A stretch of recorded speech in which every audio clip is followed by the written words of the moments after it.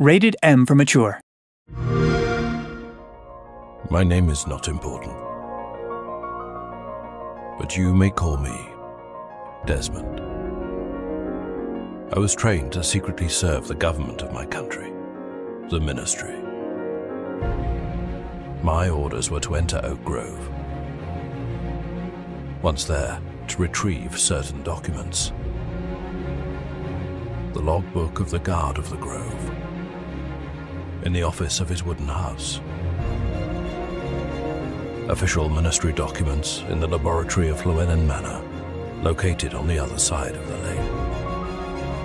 The dossiers of the secret experiments that were carried out there, in the office of the experimental hospital.